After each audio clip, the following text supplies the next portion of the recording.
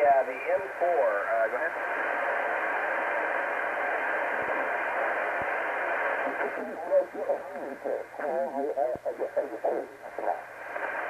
Oh, hey, David. How you doing? Good to uh, good to see you on here. Um, well, thanks.